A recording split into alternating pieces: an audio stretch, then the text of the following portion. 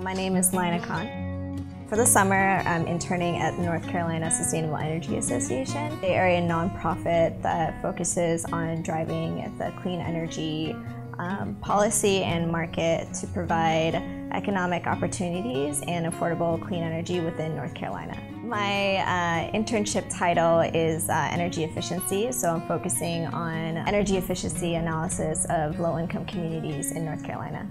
Came in and was already writing a grant for I think it was about like $130,000. I've never done that before and that was a great experience. When we interviewed I knew that there was a good rapport. I also knew that uh, because of her confidence and her background and all the accomplishments that she's had, I knew that whatever opportunities presented themselves to her that she would just jump into them with both feet.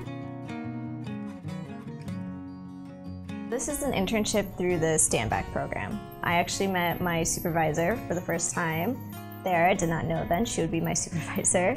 Um, but it was a great conversation. Uh, I was interested in the project that she had spoken about, um, and after like thinking about a day or two, I decided to go with uh, NCSEA. My interns teach me something. Every, every, every, both summers, I've learned from my interns, which I just really embrace, and hopefully they've learned from me too.